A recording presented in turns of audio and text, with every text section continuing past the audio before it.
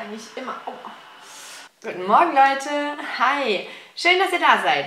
Ja, die liebe Mary H. hat mir heute einen Kommentar hinterlassen und mich gefragt, was wir Flugbegleiter eigentlich mit den Passagieren machen, die Flugangst haben oder wie wir ihnen helfen können. Und das hat mich auf die Idee gebracht, ein Video über Flugangst zu machen. So, liebe Mary, ich hoffe, dass meine Tipps dir helfen können und auch euch allen anderen, die vielleicht unter Flugangst leiden. Zuallererst mal ist es super wichtig, dass ihr versucht, den Stress vorm Flug weitestgehend zu vermeiden. Das heißt, packt am Abend vorher schon alles und legt euch wirklich alles zurecht. Das mache ich selbst auch immer so. Gerade wenn man nachts aufstehen muss und es früh losgeht, lege ich mir echt immer alles direkt hin, dass ich einfach nur noch die Sachen schnappen muss und los kann. Deswegen versucht wirklich auch frühzeitig loszufahren, um jeden Stress zu vermeiden. Weil wenn ihr dann noch im Stau steht oder irgendwas nicht so funktioniert oder ihr das Geld nicht gleich findet oder den Check-in nicht findet oder wie auch immer, dann löst das ja auch wieder Stress aus. Und deswegen versucht das einfach weitestgehend zu vermeiden. Fliegen ist stressig, auf jeden Fall. Ich finde es selbst auch immer ultra stressig, gerade am Frankfurter Flughafen und ich glaube, jeder, der schon mal von Frankfurt geflogen ist, der weiß, was ich meine. Ja, der Stuttgarter Flughafen dagegen ist total süß und schnuckelig und da findet man sich super easy zurecht. Aber in Frankfurt könnte man schon mal die Krise kriegen, vor allem auch bei den weiten Wegen, die man da so gehen muss. Als nächstes kann ich euch den Tipp geben, dass ihr mal in euch reinhört und überlegt, woher diese Flugangst kommt oder was diese Flugangst genau ist. Ist es eher die Angst vor einem Absturz oder ist es eher dieses klaustrophobische Gefühl von, oh Gott, Enge und Hilfe, ich bin eingesperrt zwischen all diesen Menschen in dieser metallenen Röhre. Und ja, das kann ich auch ganz gut nachvollziehen, denn ich fliege ja selbst sehr oft als Passagier und ich muss sagen, ja, es ist eng und gerade mit so vielen Menschen ja, man hat da ein bisschen ein Gefühl der Beengung und ähm, ich leide jetzt nicht unter Platzangst, aber wenn ihr unter Platzangst leidet, dann kann das auch der Auslöser für Flugangst sein. Wenn ihr jetzt aber wirklich Angst vor einem Absturz habt und euch vor dem Abflug schon Gedanken macht, wie, was wäre wenn, oh Gott, was, wenn das passiert, wenn das passiert, wenn das passiert, stopp. Zuallererst hört mal auf damit, denn Ihr macht euch damit selbst verrückt. Ich weiß, das ist leicht gesagt, aber versucht wirklich nicht diese Wenn-Dann-Gedanken zu haben und euch nicht so da reinzusteigern, soweit es geht. Ähm, ich habe hier gerade mal einen Artikel rausgesucht. Die Seite heißt flugzeugabsturz.de und hier erzählen sie ein bisschen was über die Wahrscheinlichkeit eines Flugzeugabsturzes. Und ich dachte, ich ziehe da jetzt mal einen Teil raus. Aufs Jahr gerechnet gibt es circa 550 Millionen Flüge. Pro Jahr stürzen circa vier Flugzeuge ab. Nicht zu vergessen, da sind auch Kleinflugzeuge dabei und Privatflugzeuge. Die Wahrscheinlichkeit, selbst mit einem Flugzeug abzustürzen, liegt bei circa, oh Gott, wie viele Nullen sind das? 0,0000007 Prozent. Berechnet man diese Wahrscheinlichkeit auf geleistete Flugstunden, hieße das, dass etwa alle 590.000 Flugstunden ein Flugzeug vom Himmel fällt. Und hier steht auch, wenn man das auf Lebensjahre umrechnet, müsste man 67 Jahre am Stück fliegen, um betroffen zu sein. Bei einem Schiffsunglück sind es nur 13 Menschenjahre. Vielleicht hilft euch auch ein bisschen, sich das einfach bewusst zu machen, wie gering die Wahrscheinlichkeit ist. Klar, das sind nur Zahlen und das Problem ist einfach, wenn ein Flugzeug abstürzt, dann sind gleich so viele Menschen weg.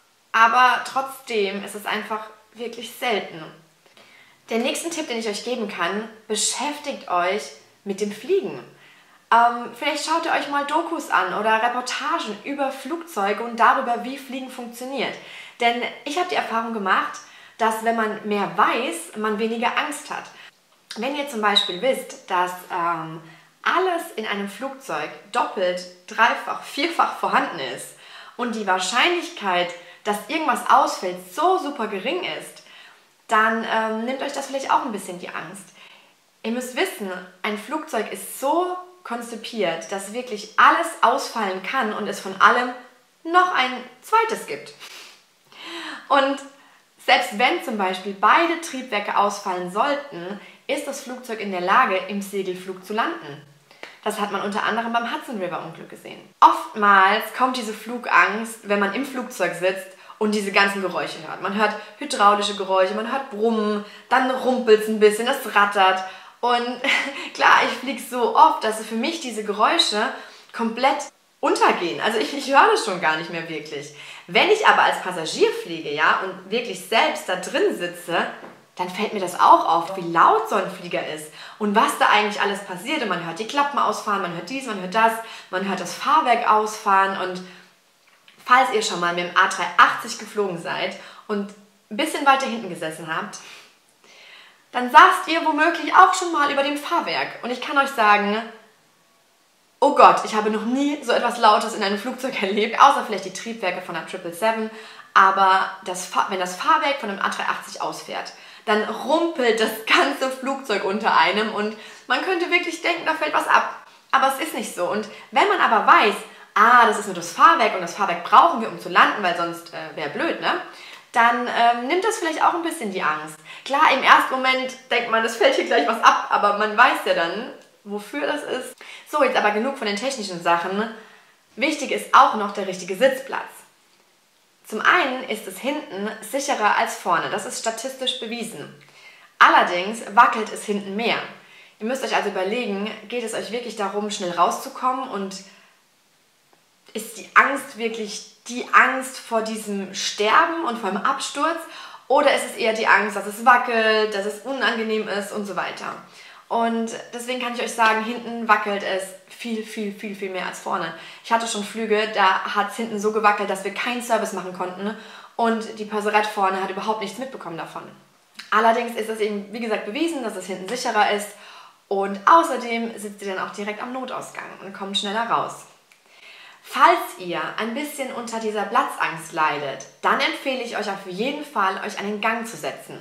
Erstens kommt ihr auch da schneller raus und zweitens habt ihr dann einfach ein bisschen mehr Platz und ihr habt den Gang dazwischen. Also ihr könnt auch zwischendurch mal aufstehen, auf die Toilette gehen, euch ein bisschen Luft machen quasi und sitzt nicht so beengt am Fenster. Dann würde es vielleicht auch noch helfen, wenn ihr euch ablenkt. Das heißt, nehmt euch ein spannendes Buch mit, schaut einen spannenden Film oder hört gute Musik. Das kann auch wirklich helfen. Und natürlich hilft es auch, euch ein paar Entspannungstricks zuzulegen. Zum Beispiel tiefes Einatmen. Und ja, man sollte es nicht glauben, aber Einatmen löst ganz schön viel aus und hilft ganz schön viel. Also ich finde, selbst wenn man irgendwie total aufgeregt ist und dann einfach tief einatmet, das äh, hilft. Ja, probiert es mal aus. Und zusätzlich zum Atmen ist auch die richtige Körperhaltung wichtig. Setzt euch am besten aufrecht hin und stellt die Füße fest auf den Boden auf. Das gibt euch eine Erdung und dieses Gefühl wirkt sich auch auf euch aus und beruhigt euch. Wichtig ist auch, dass ihr vor dem Flug auf jeden Fall was esst und trinkt. Es muss nicht wahnsinnig viel sein, aber einfach ein bisschen was, um dieses flaue Gefühl im Magen zu beruhigen. Ihr habt sicher auch schon erlebt, dass ihr früh aufsteht und gerade früh morgens, und viele Flüge gehen ja früh morgens, hat man dieses flaue Gefühl im Magen. Vielleicht habt ihr noch gar keinen Hunger, aber ihr fühlt euch so, so gribbelig und ja, ein bisschen was zu essen beruhigt es auf jeden Fall. Und das nimmt euch auch ein bisschen die Angst. Wenn diese ganzen Entspannungstipps nichts helfen, dann bieten Airlines auch Trainings an. Seminare gegen Flugangst. Ich glaube, Lufthansa macht das und Air Berlin auch. Und da könnt ihr euch auch mal informieren. Die machen das mehrmals im Jahr und vielleicht hilft euch auch sowas. Und jetzt habe ich noch für euch einen absoluten Top-Tipp und ein absolutes No-Go. Top-Tipp, teilt der Flugbegleiterin und dem Flugbegleiter mit, dass ihr Flugangst habt. Und er fragt dann auch Geräusche. Wenn ihr irgendwas hört oder irgendwas seht, was euch komisch vorkommt, dann fragt. Es ist überhaupt nichts dabei. Ich wurde selbst schon so, so oft gefragt, was ist dieses Geräusch gewesen, was war dieses Geräusch. Okay, manchmal habe ich selbst gar nicht gewusst, wovon sie gesprochen haben, weil wie gesagt, während ich arbeite, höre ich diese ganzen Geräusche nicht, aber wenn jetzt zum Beispiel das Fahrwerk ausfährt, es ist richtig laut und es rumpelt dann eben auch so, dann frag, was, was war das jetzt? Ein guter Indikator ist auch eben immer auf die Flugbegleiter zu achten. Wenn die nicht in Panik verfallen, ist eigentlich alles okay. Ja, das ist so ein alter Leitspruch irgendwie, aber solange die Flugbegleiterinnen noch lachen, braucht ihr keine Angst zu haben. Und das absolute No-Go für mich selbst, auch wenn ich ganz, ganz oft sehe, dass das als Entspannungstipp und als Tipp gegen Flugangst gehandelt wird, Beruhigungsmittel. Klar, ihr könnt sowas wie Baldrian nehmen, was euch ein bisschen runterbringt, aber passt wirklich auf, dass ihr nichts Hartes zu euch nehmt und nichts, was euch völlig ausnockt. Ihr habt gesehen, was bei Emirates passiert ist. Das heißt, ihr müsst im Falle eines Notfalls fit sein. Ihr müsst fit sein, ihr müsst den Ausgang finden, ihr müsst schnell handeln, schnell reagieren. Und deswegen finde ich es so schwierig, wenn Leute sich wirklich Beruhigungstabletten einwerfen. Und ich finde es noch schwieriger, dass andere Menschen diesen Tipp weitergeben, weil ich finde das absolut gefährlich. Und noch schlimmer wird es, wenn ihr dazu noch Alkohol trinkt. Und deswegen solltet ihr auch im Flugzeug nicht so viel Alkohol trinken, auch wenn man denkt, das beruhigt ein bisschen die Nerven. Wenn ihr dann völlig benebelt seid und es passiert was, kommt ihr eventuell nicht raus. Ich finde nichts wichtiger, als bei klarem Verstand zu sein und fit zu sein in diesem Fall. Und deswegen versucht es wirklich ohne Beruhigungsmittel. Ich glaube, ein bisschen Baldrian ist okay, aber alles andere, was darüber hinausgeht, würde ich euch nicht empfehlen. Denn ähm, dann macht wirklich lieber ein, ein Seminar bei irgendeiner Airline und schaut, dass ihr die Flugangst so bekämpfen könnt. Und um auf die Frage von dir, Mary, noch abschließend zu kommen, ich hatte auch einige Male Passagiere an Bord, die unter Flugangst gelitten haben, die mich dann aber auch direkt zu Beginn des Fluges angesprochen haben, was ich super fand und mir gesagt haben, sie leiden unter Flugangst. Und während des Fluges bin ich natürlich immer wieder hin und habe gefragt, ob es ihnen gut geht, ob man irgendwas für sie tun kann. Ja, sie einfach auch ein bisschen beruhigt. Und vielleicht hilft euch das eben auch, wenn ihr die Flugbegleiter ein bisschen mit ins Boot holt, ähm, einfach für die mentale Beruhigung so ein bisschen. Und ja, ich wurde dann auch eben oft gefragt, was dieses Geräusch ist oder was das ist. Und dann beantwortet man eben die Fragen und geht auf die Passagiere ein und kümmert sich ein bisschen. Gut, ich hatte mal eine Passagierin, die meinte, sie hat so starke Flugangst, dass sie unbedingt im Cockpit mitfliegen wollte. Äh, nee, ist nicht drin. Nö. Also während des Fluges darf niemand ohne Genehmigung ins Cockpit und äh, niemand außer der Crew natürlich. Und ich denke, ihr wisst, warum das so ist. Ich weiß auch nicht, warum im Cockpit mitfliegen gegen Flugangst helfen sollte, weil falls ihr schon mal das Glück hattet, im Cockpit mitfliegen zu dürfen, ähm, ich finde es ehrlich gesagt beängstigender, als hinten zu sitzen. Ich persönlich. Denn ich bin absolut kein Fan davon zu sehen, wie die Landebahn immer näher kommt und näher kommt und näher kommt. Nee, mag ich nicht. Deswegen könnte ich auch niemals Pilot werden.